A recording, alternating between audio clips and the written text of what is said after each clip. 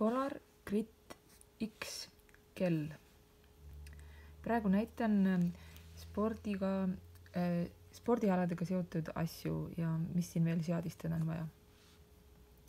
nupud on äh, ülesliikumiseks, alla liip-, liikumiseks, millegi kinnitamiseks või millegi põhjalikumalt vaatamiseks. valgustuse nupp või kui hoida seda tugevamalt all, siis on klahvid võimalik lukku panna ja samamoodi lukust välja võtta sama nupuga. ja see on back ehk siis tagasimineku, minemise nupp ja siit saab ka selle nupuga, tagasiminemise nupuga saab ka minna seadistustesse ja treeningutesse ja äh, muudesse kohtadesse. praegu ma lähengi siia sellele nupule treeningu alustamine treeningu alustamiseks valin keskmisele nupule ja tuleb ette running.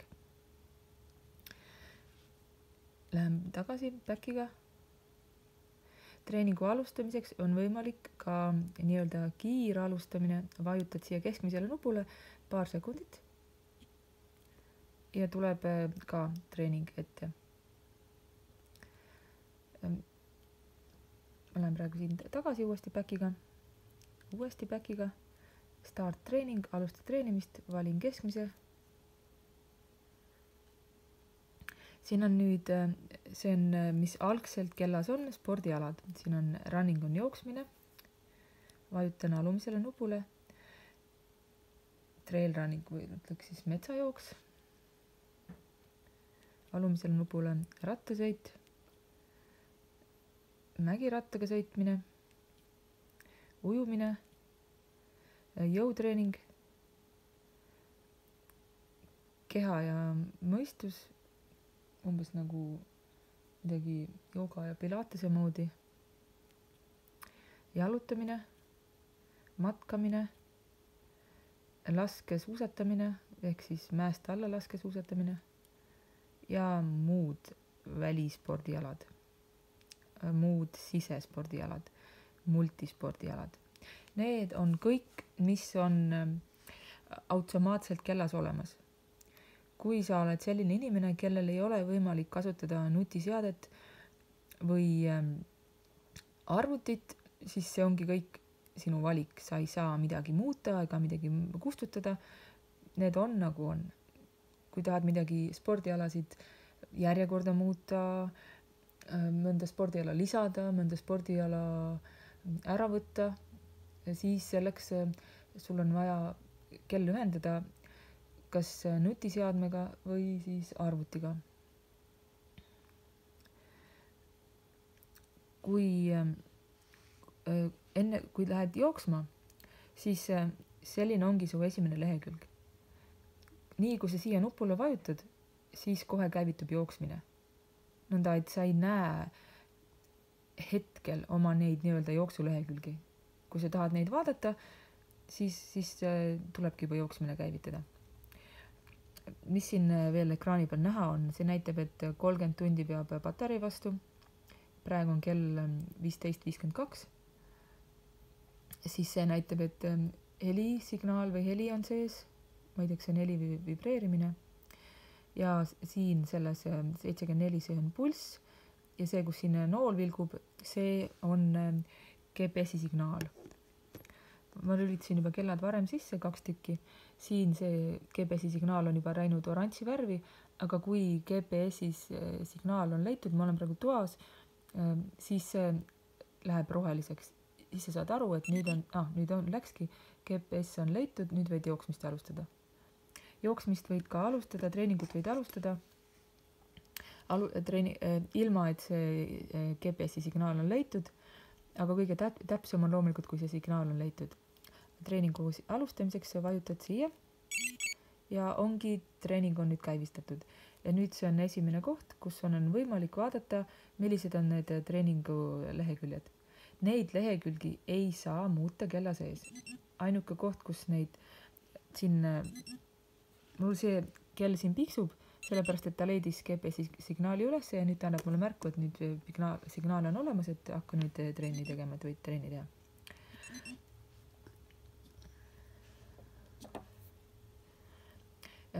nagu ma ütlesin, neid lehekülgi, paigutust, midagi muuta kella sees ei saa. kui sa tahad siin midagi muuta, siis sa pead selleks kella ühendama oma nutiseadmega või arvutiga. praegu see näitab pulssi, distantsi pikkust, aeg, duration ja kiirus. vot see kiirus on selline asi, et muidu mulle see kõik sobiks, aga kiirus peaks minul olema keskmine kiirus ta näitab siis hetkekiirust kogu aeg minutit kilomeetri kohta. Nõnda, et kui ma jooksen mäest ülesse, siis ta on, olen ju aeglasemalt, kui on mäest alla, on kiiremalt, et mulle meeldib ikkagi üldine keskmine kiirus. siin jooksulehekülgede vaatamiseks on valida kas ülemine nupp, alumine nupp. lihtsalt vajutad muudkui ülesse, siin on üks, see on siis äh, nii-öelda, mis see hetkel praegu kellaaeg on ja siin on ühtlasi näha, mis su treeningu aeg on, et sul on, sul on võimalik näha hetke kellaaega ja, ja treeningute kestust ajaliselt. vajutad jälle ülesse, siin on, ma ei tea, mida see lehekülg peaks näitama, võib-olla altimeeter või midagi. kuna praegu ta ei, ei leia siin GPS signaali mul toas, sellepärast ta seda lehekülge ei näe ja siin on äh, pulsiga seotud äh, lehekülg ja tõusu ja langustega seotud lehekülg. siin on äh, power ehk siis võimsusega seotud lehekülg. Need on need, samamoodi võid liikuda selle alumise nupuga alla, et oma neid jooksulehekülgi vaadata. samad leheküljed on, lihtsalt sa võid siin sinna, siin oli mingid distants, kiirus äh,. aa, siin näitab seda, see on see mingi hill splitter, see on, siin näitab siis, et kas sa liigud parajasti üles või alla või midagi taolist peaks siin olema. et noh, sa pead ise ka sellest aru saama, et kas sa liigud ülesmäge või allamäge. nõnda, et nende ülemise alumise nupuga saab siin äh, valida aga need leheküljed on nii-öelda jooksuleheküljed on fikseeritud, sa ei saa siin mitte midagi muuta, sa ei saa ühtegi jooksulehekülge ära võtta, sa ei saa ühtegi lehekülge juurde panna. Ja, ja, ja, ja niimoodi ongi. kõik, mis sa, kui sa tahad midagi muuta, siis selleks on vaja äh, kell ühendada arvutiga või nutiseadmega. ja kui sa soovid vaheaega võtta, siis vaheaja võtmiseks on see keskmine nupp ringivaheaeg on nüüd võetud. Ähm, kui panid tähele, siis äh, siin ringi, kui võtad ringi vaheaega, siis ekraanile kuvatakse korraga kolm välja. ülemisel väljal on mitmes see ring oli ja siis on veel üldaeg ja ringiaeg, ma näitan uuesti. läpp, mitmes ring, ringiaeg ja, ja pikkusajaliselt siis üldaeg pikkus, üldaeg on praegu kolm nelikümmend, kolm viiskümmend ja kui ma vajutan aega, siis on kolm viiskümmend üks ja see on äh, ringi aeg. ja selline näebki siis see treeningu jooksmise süsteem välja. kui tahad äh, treeningut lõpetada, vajutad alumisele nupule, alumisele vasakule nupule, ühe korra vajutad. nüüd on treening seisma pandud mulle meeldib see nii-öelda treeningu seismine sellepärast, et äh, oi, ma ei tahtnud seda, ma, ma, ma vajutasin ülemisele nupule ja need olid need treeningute seadmed, ma lähen uuesti back'iga tagasi. mulle meeldib see, kui treening on paust, äh, seisma pandud, sellepärast et, et sa tegelikult näed oma pulssi kogu aeg. et nii kui sa kella kinni paned, ikkagi pulss sul ekraanil veel töötab, siis näeb veel patareid ja GPS-i signaali ja siit ähm, kui sa tahad nüüd, see on, kell on lihtsalt sul kinni pandud ja see treening ei ole salvestatud. Salvestamiseks valid, vajutad siia, hoiad seda nuppu all kolm sekundit. nüüd on, õigemini nüüd on treening siis ametlikult lõppenud, see ei ole veel salvestatud. ja treeningu salvestamiseks ähm, salvestamiseks pead valit-, vajutama siia keskmisele nupule ja kui soovid treeningut kustutada, siis vajutad siia, et siis sa ei salvesta treeningut oma kella. Ma praegusel hetkel salvestan selle kella ja ongi salvestatud. nüüd vajutan alumisele nupule, siis saan vaadata treeningi infot alumisele.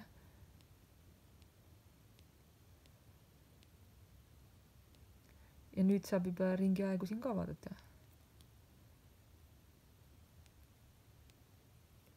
Lähen back'iga tagasi. Vajutan ülesse.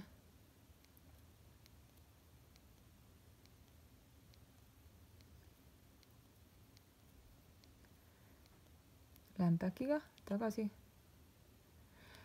nüüd äh, ma otsin, nüüd on ek kella ekraani pealt, nüüd ta peaks näitama mulle, et millal ma trenni tegin, näiteks vajutan siia ülemisele nupule, veel üle, ülemisele nupule,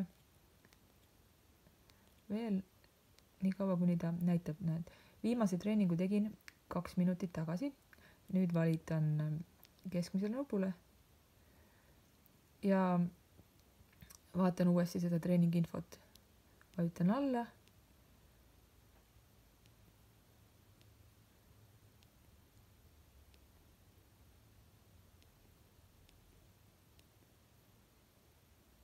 nüüd näeb ringe ka, et siin on olemas kokku neli ringi ja selle noolega saab ähm,.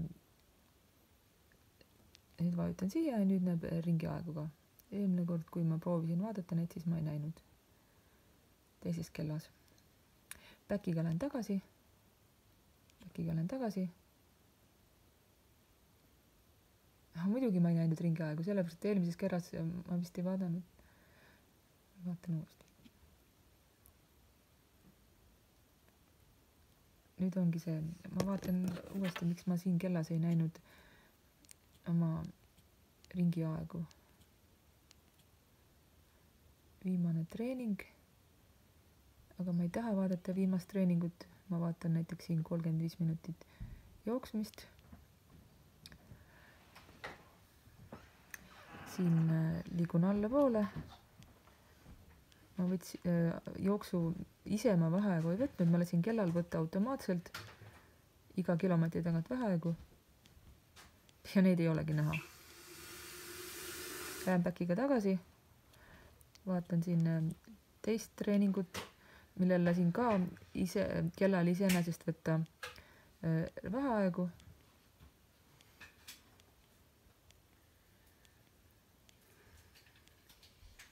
ja vaheaegu ma ei näegi siin kuskilt. back'iga tagasi. aa oh, jah. Valgustus. Lähen uuesti äh, treeningu juurde. Äh, treeningu alustamine vajutan siia keskmisele nupule.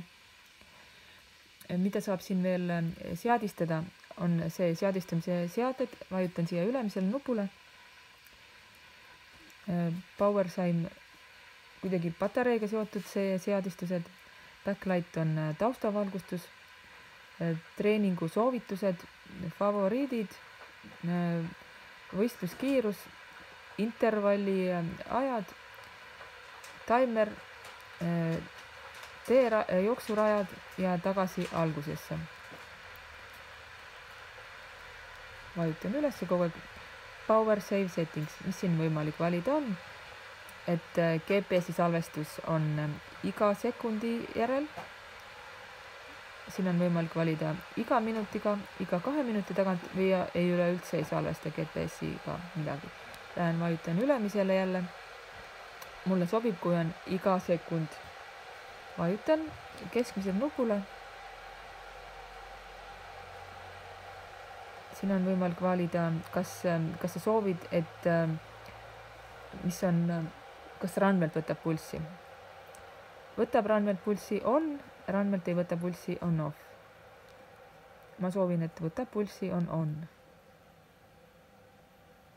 näiteks kui on olemas äh, pulsirihm, siis saab ju siit välja pulsi äh, randmelt ei võta pulssi ja mõõdab ainult äh, pulsirihmaga. Screensaver off.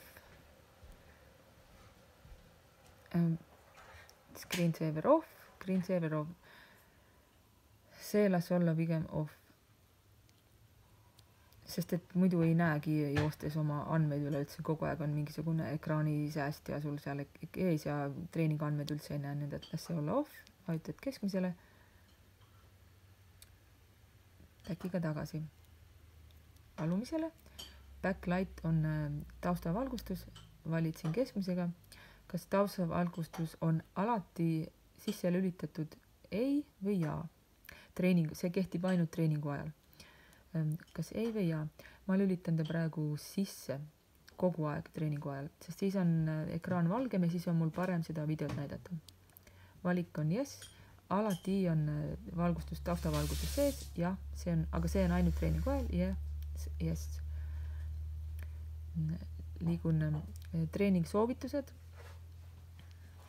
keskmisega valik, neid soovitusi näeb teisest kellaekraani pealt ka, et äh, alusta kohe tund kakskümmend viis minutit kestvat jooksu ähm,.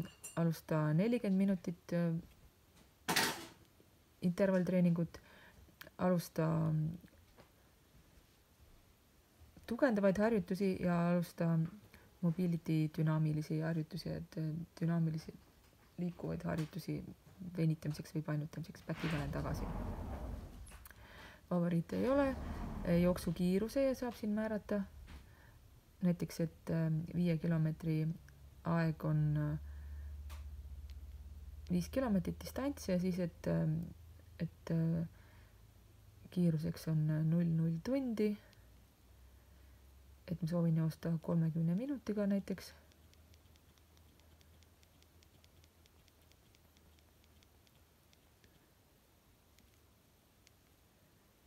ja kolm, null, null sekundit valin. see on nüüd äh, võistluskiirus. aga ma lähen siit äh, seadme, siit uuesti lähen siia seadmetesse. alumisele, alumisele, alumisele. Race piece. kas sa soovid oma äh, eesmärki muuta? jah, vajutan roheline tähendab jah, ma soovin muuta, punane siia alla vajutan, et ma ei soovi muuta, jah, ma soovin muuta. ma ei soovi tegelikult seda üldse, nüüd on see vaba, nii et ma läksin back'iga tagasi ja siin saab määrata intervall timerid. et kas sa soovid seda, et see on sisse lülitatud intervalli treening ja siin on taimerite valik. et on või off, et olgu, et jah, sul on intervalltreeningut saad teha mm,. nüüd hakkab siis, ma lähen uuesti setting utesse alla, alla, alla, interval timer. jah, ma lülitan selle off'i, et ma ei, ju ei soovi praegu teha intervalli, sellepärast ma panen off, et välja lülitatud. alumisele vajutan ja siin saab, äh, kas taimer on siis äh, ajapõhiline või distantsipõhiline. ja ma lähen siit ka praegu back'iga välja ja siin on äh, tagurpidi taimer veel, kas see on sisse või välja lülitatud ja siin on äh, võimalik taimeri aega lülitada. Äh, roads on teekonnad, neid mul ei ole ja uuesti algusesse, kui siia vajutada, siis back to start, et vii mind uuesti sinna tagasi, kust ma alustasin, on on. see tähendab, et et ta näitab sulle juhendit, otseteed, kuidas sa saad tagasi minna sinna kohta, kus sa jooksmist alustasid, aga ta võib sind läbi viia läbi mäe, läbi vee, läbi oja. Lähen uuesti siia äh, seadmetesse, uuesti alla.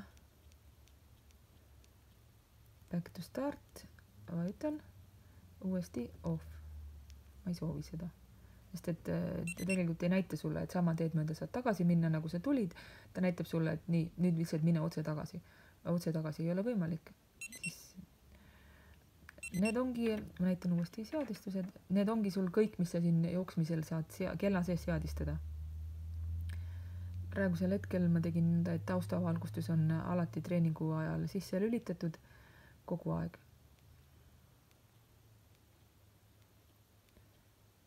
ja midagi, midagi muud ma siin üldse ei, ei tahtnud, tahagi välja.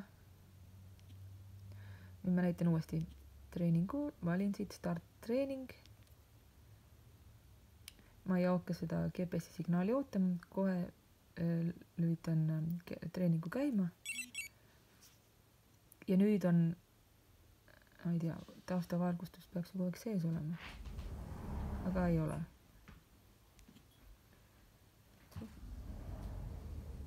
võib-olla ma kogemata muutsin seda seadistust. kui ma nupule vajutan, siis see on juba näiteks taustavalgustus. see on niisugune nii-öelda siis poolik taustavalgustus, see on päris valgustus.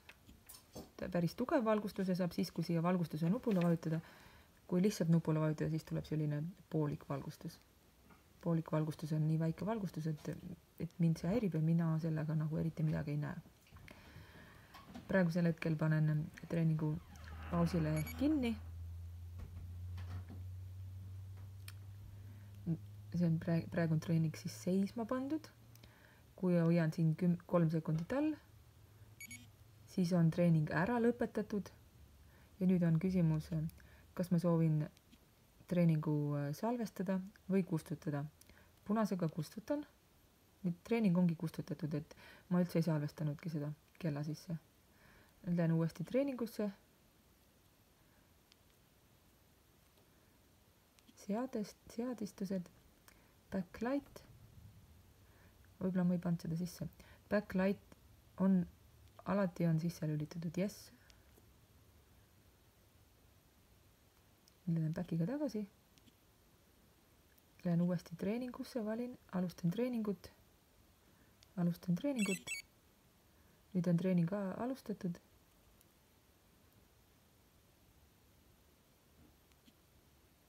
huvitav, kas ma pean seda siis alati nagu sellest samast kohast tegema. et kuna ma läksin treeningust välja, siis ta mulle nii-öelda ei mõju, ma pean selle uuesti alati alustama, ma panen praegu treeningu pausi peale. nüüd äh, lõpetan treeningu, üks, kaks, kolm sekundit, treening on lõpetatud.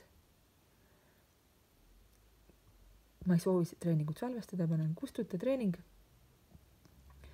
Uuesti alustan treeningut, start treening. Lähen seadistuste peale backlight. see tähendab, et vaikimisi on kellas alati, et äh, taustavalgustus ei ole treeningu ajal sisse lülitatud. nii et kui sa tahad, et see on sisse lülitatud, siis sa pead ekstra minema sisse lülitatud. nüüd sa oled selle valiku ära teinud, nüüd lähed back'iga tagasi ja koheselt pead alustama siis treeningut, et sa ei tohi siit sellest nii-öelda treeningusüsteemist nüüd enam välja minna. alustad treeningut. no kui see ka ei mõju, nüüd peaks olema see taustavalgustus kogu aeg sees, terve treeningu ajal. ja praegu on ka. nõnda, et see on, tundub, et see on praegu maksimaalne valgustus on kogu aeg sees. See loomulikult äh, kulutab patareid kõige rohkem, aga vähemalt on äh, kõik numbrid kenasti näha. ja kõik info, mis ekraani peal on. Lähen siit, äh, panen treeningu kinni paus Ehm, nüüd vajutan siia natuke pikemalt, kolm sekundit. treening on lõpetatud. ja kustutan selle treeningu. Miks see on oluline, et ma selle treeningu siit kustutan? olgu, ma salvestan. Back'iga tagasi.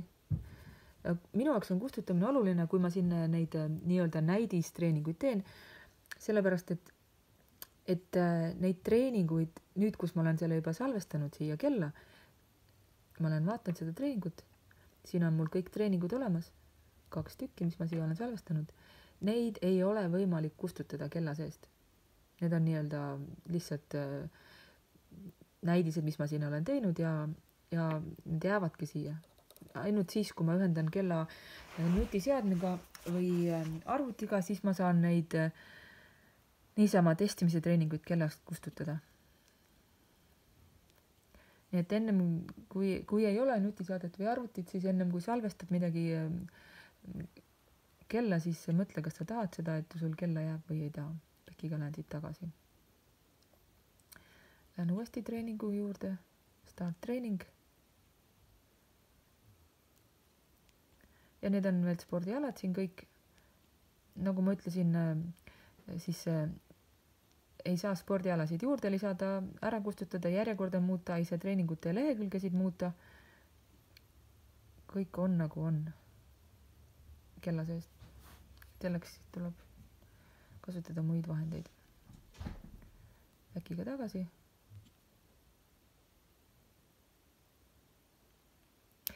järgmises videos äh, näitan, kui ma vajutan siia alla, siis siin on võimalik valida alustada treeninguid, hingamisharjutused, Strava, joo-, joomine ah,, näitan need kõik ära, sest et see on kõik tehtud. nii et lähen siin, ma tahan, et kell näeks välja nõnda, et pulss on siin esimesel, selleks on, valin, nii, pulss on olemas. kui ei leia pulssi, siis nii kaua vali, kuni see ekraan tuleb nagu näitab pulssi.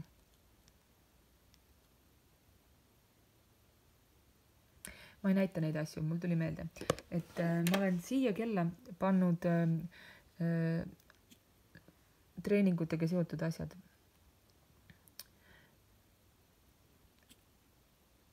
alusta treeningut.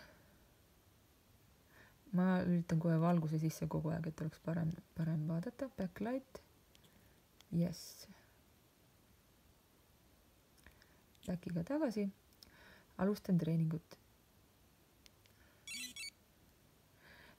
siia äh, kella ma juba panin arvutist äh,, seadistasin neid äh, nii-öelda jooksulehekülgi näitan, kui originaalis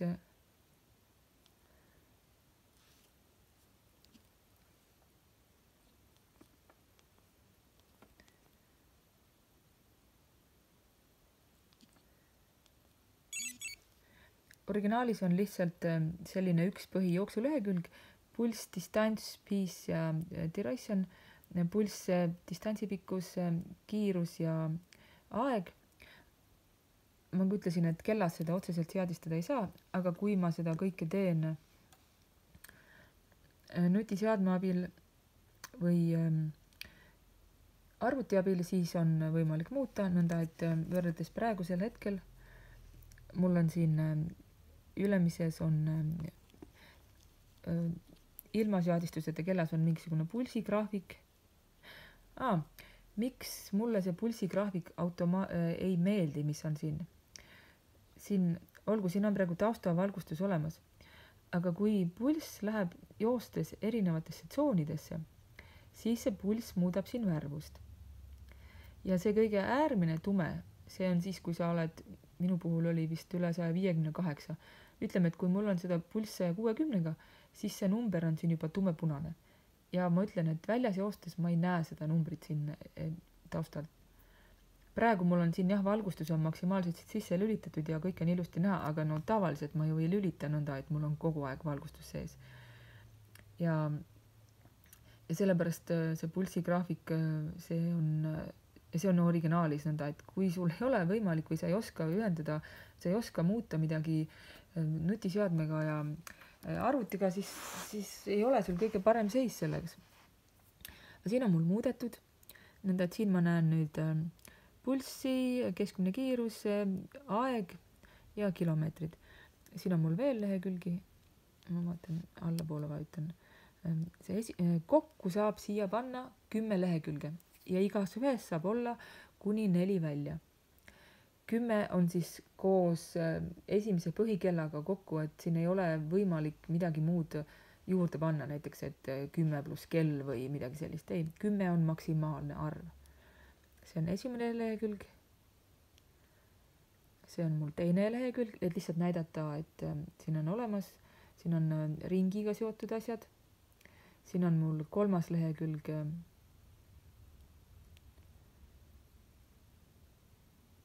neljas lehekülg on kiirusega seotud asjad, viies lehekülg on näiteks praegune kellaaeg ja ajaga seotud asjad. siin on pulsiga seotud asjad.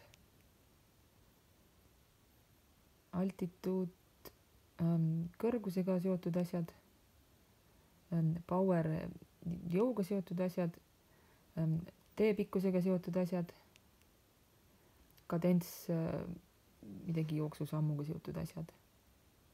nii et üks, kaks, kolm, neli viis, kuus, seitse, kaheksa, üheksa, kümme. see on maksimaalne arv ja nagu ma ütlesin, arvuti või nutiseadme abil saab kõiki neid äh, välju siin muuta. ma panen selle kinni praegu. selle treeningu, ma nüüd lõpetan treeningu. ja nüüd kustutan treeningu. Ja nüüd ma näitan äh, veel korra uuesti start treening. nüüd ma valin äh, jalutamine. vaatan uuesti taustavalgustust, et jess, on kogu aeg valgustus peal äkiga tagasi, alustan äh, jalutamist. ma näitan jalutamist sellepärast, et siia ma panin ka kümme lehekülge, aga siia ma panin niimoodi, et, et igal lehekülje peal on ainult üks asi. et siin on näiteks, selle nimetus on ainult üks asi, siin on selle lehekülje nimetus on näiteks äh, kellaaeg ja see on siis praegune kellaaeg ja treeningu üldaeg, kestvus. siin on algusesse tagasiminek vist või, või kompass või mis siin võib olla. siin on äh, kõrgusega seotud asjad, altimeetriga, pulsiga seotud asjad. Kuigi lehekülje peal on mitu asja, aga selle lehekülje nimi on üks, et siis täisekraani peal on igasugused asjad. siin on power'iga vist või kiirusega seotud asjad. see on power'iga seotud asjad. Äh, taimer, siin on mingi stopperkell see võib olla hill splitter ehk siis äh, mingisugune äh, mägedega seotud asi, kompass, noh, kompassi kalibreerimine on ka vahva. Seda peab siis iga kord tegema vist. ja siin on siis see, et ma ütlesin, et kümme on lehekülge nõnda, üks, kaks, kolm, neli, viis, kuus, seitse, kaheksa, üheksa, kümme näitan, kuidas see kompassi kalibreerimine käib. hoia nüüd lükk, et lase see, et see roheline läheb alla, nüüd see roheline peab üles minema, pane kell niimoodi. nüüd pane kell, hoia vasakule, nüüd hoia kell paremale. nüüd pead nii palju rullima, et see, et see roheline tekib igale poole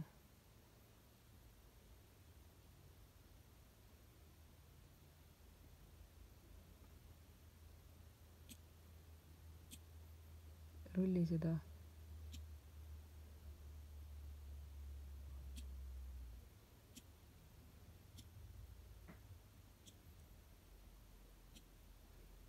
Nüüd ütleb, et keera kella teistpidi.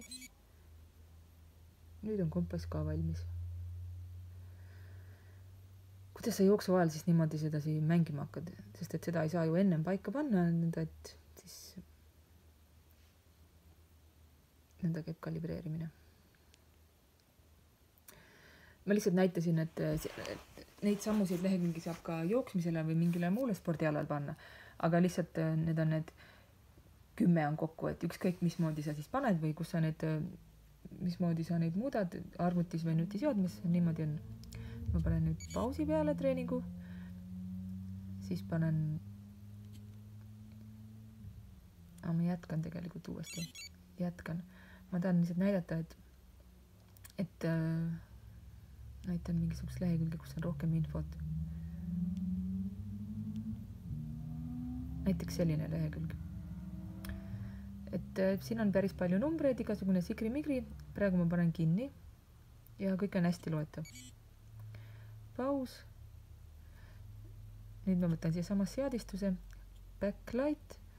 nüüd ma võtan backlight'i ära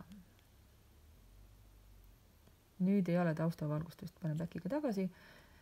treening on pausi peale pandud, jätkan treeningut sama koha pealt, kus ta uuesti pooleli jäi. ja see on nüüd, ähm, need on nii, niimoodi numbrid on nähtavad siin, kus ei ole üldse valgustust joostes. nõnda, et kui sa kella vaatad, siis sa ei näegi midagi.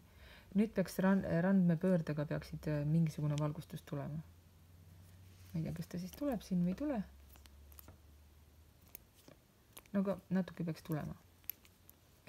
nupule vajutusega tuleb see poolvalgustus. poolvalgustus on minu meelest nagu üleüleüldse mitte ei ole valgustus. Ja täisvalgustust saad siis, kui ekstra valgustuse nupule vajutad. ma lihtsalt tahtsin näidata äh, seda ekraani heledust või äh,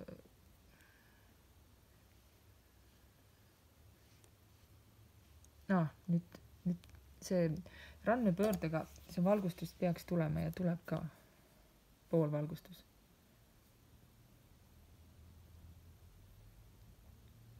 nõnda et kui joostad siis natukene keerad nõnda. Ma ei tea kuidas seda keerama peab et millal ta tuleb millal ta ei tule. Aga kui sa ei keera siis ega sa ei näegi eriti midagi. Noh vahel tuleb vahel ei tule. Igal juhul ma panen jälle pausi peale. kinni. Ja ma ei salvesta seda kella.